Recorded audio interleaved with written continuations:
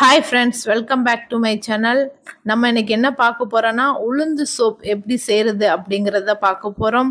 அதை பார்க்கறதுக்கு முன்னாடி இந்த சேனலை நீங்க இப்பதான் ஃபர்ஸ்ட் டைம் பார்க்குறீங்கன்னா மறக்காம சப்ஸ்கிரைப் பண்ணிக்கோங்க. அப்படியே பக்கத்துல இருக்கிற பெல் ஐக்கானை கிளிக் பண்ணி ஆளுங்கிற ஆப்ஷனை கொடுத்துக்கோங்க.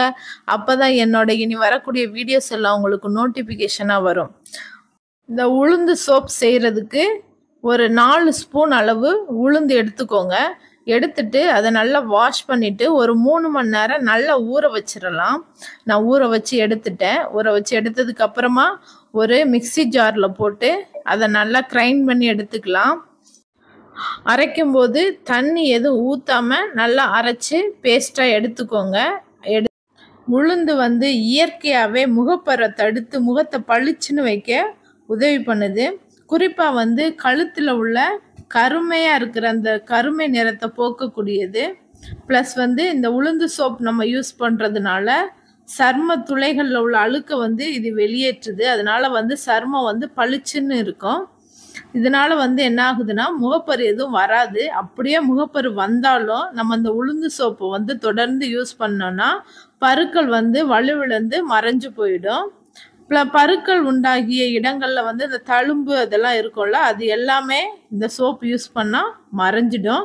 ப்ளஸ் வந்து முகத்தில் உள்ள சுருக்கங்கள் வறட்சி வறட்சி தன்மை இது எல்லாத்தையும் தடுக்கக்கூடியது இந்த உளுந்து.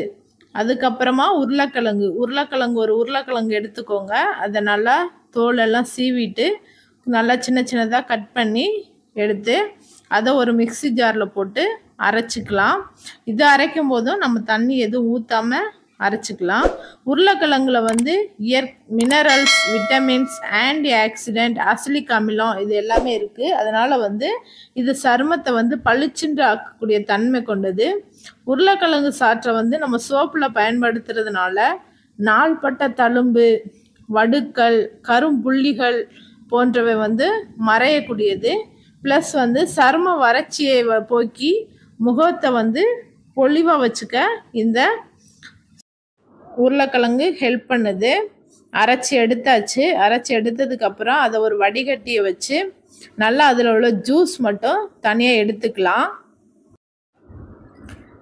இப்போது அந்த உருளைக்கிழங்கு ஜூஸ் எடுத்து நம்ம ஏற்கனவே அரைச்சி வச்சுருக்கிற உளுந்து பேஸ்ட் இருக்குல்ல அதில் வந்து இந்த உருளைக்கிழங்கு ஜூஸை ஆட் பண்ணி நல்லா மிக்ஸ் பண்ணிக்கோங்க. நல்லா மிக்ஸ் பண்ணணும். அதுக்கப்புறம் விட்டமின் இ கேப்சூல் எடுத்துக்கலாம். அது வந்து ஒரு ரெண்டு கேப்சூல் எடுத்து அதில் ஆட் பண்ணி அதை வந்து மறுபடி நல்லா மிக்ஸ் பண்ணிக்கலாம். அதோட வந்து ரோஸ் வாட்டர் ரோஸ் வாட்டர் வந்து ஒரு ஒரு ஸ்பூன் அதில் ஆட் பண்ணி அதை நல்லா மிக்ஸ் பண்ணி எடுத்துக்கலாம். அதுக்கப்புறமா கிளிசரின் பேஸ் இந்த பேஸ் வந்து ஒரு இரநூத்தம்பது கிராம் எடுத்துக்கலாம்.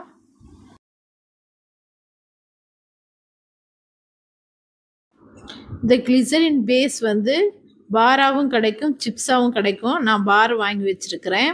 இதனால் இதை வந்து அப்படியே வந்து நம்ம மெல்ட் பண்ண வச்சோன்னா நிறைய டைம் எடுக்கும். அதனால நம்ம வந்து முதல்ல குட்டி குட்டியாக கட் பண்ணிக்கலாம். சின்ன சின்னதாக கட் பண்ணிவிட்டு அதுக்கு மெல்ட் பண்ணோன்னா ஈஸியாக மெல்ட் ஆகிடும் அதுக்கு கடாயில் வந்து கொஞ்சம் தண்ணியை வச்சுட்டு அது நான் தண்ணி வந்து நல்லா கொதிக்க விட்டுருங்க. அதுக்கப்புறமா இதை வந்து டபுள் பாயிலிங் மெத்தடில் வந்து இதை மெல்ட் பண்ணிடலாம் இந்த கிளிசரின் பேஸ் வந்து அமேசான் ஃப்ளிப்கார்ட்டில் கிடைக்குது. நான் அமேசானில் தான் வாங்கினேன்.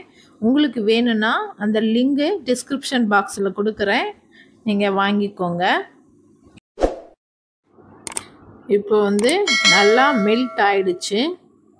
இந்த அளவு நல்லா தண்ணியாக மெல்ட் ஆனதுக்கப்புறமா நம்ம சோப் மோல்டு எடுத்துக்கலாம். மோல்டில் வந்து கோகோனட் ஆயில் கொஞ்சமாக ஊற்றி நல்லா அப்ளை பண்ணிக்கலாம். அப்படி அப்ளை நல்லா அப்ளை பண்ணால் தான் சோப்பு எடுக்கும்போது வந்து ஈஸியாக வரும். இப்போது மெல்ட்டான சோப் பேஸ் எடுத்துக்கிட்டு அதுக்கப்புறம் அதுக்கு முன்னாடியே நம்ம வந்து ரெடி பண்ணி வச்சுருக்கிற பேஸ்ட்டை வந்து இதில் ஆட் பண்ணி நல்லா மிக்ஸ் பண்ணிக்கலாம். இதில் நமக்கு தேவைன்னா சென்ட் ஆட் பண்ணிக்கலாம் வாசனைக்காக. நான் வந்து குழந்தைங்களாம் யூஸ் பண்ணுறதுனால அந்த சென்ட்டு நான் ஆட் பண்ணலை. உங்களுக்கு தேவைன்னா நீங்கள் ஆட் பண்ணிக்கோங்க. ஆட் பண்ணி நல்லா மிக்ஸ் பண்ணி எடுத்துக்கோங்க.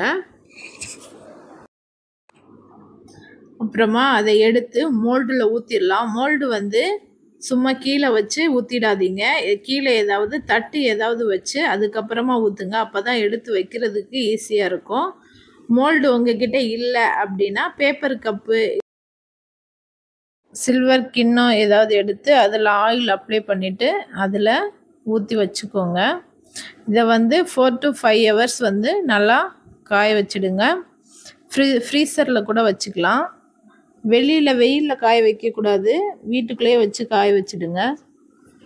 கூலான பிளேஸில் தான் வைக்கணும். வெயிலில் வச்சா மெல்ட் ஆகிடும் இப்போது நான் வந்து ஃப்ரீசரில் ஒரு ஃபோர் ஹவர்ஸ் வச்சு எடுத்திருக்கேன். இப்போ சோப்பை வந்து நம்ம வெளியில் எடுத்துடலாம் சோப்பு வெளில எடுத்தாச்சு. எவ்வளோ சூப்பராக வந்திருக்கு பாருங்கள் இப்போ வந்து இந்த சோப்பை வந்து நம்ம எப்படி யூஸ் பண்ணுறதுன்னு பார்க்கலாம் சோப்பு வந்து நல்லா முகத்தில் தேய்ச்சிட்டு நான் பண்ணுற மாதிரி நல்லா மசாஜ் பண்ணணும். நல்லா மசாஜ் பண்ணி கழுத்து சைடு எல்லாமே நல்லா மசாஜ் பண்ணி நல்லா தேய்ச்சி கழுவுனோன்னா கருமை நிறம் எல்லாமே போயிடு நல்லா பளிச்சுன்னு ஆகிடும் இந்த வீடியோ உங்களுக்கு பிடிச்சிருந்தா லைக் பண்ணுங்கள் கமெண்ட் பண்ணுங்கள் ஷேர் பண்ணுங்கள் மறக்காமல் சப்ஸ்கிரைப் பண்ணாதவங்க சப்ஸ்கிரைப் பண்ணிக்கோங்க. தேங்க்யூ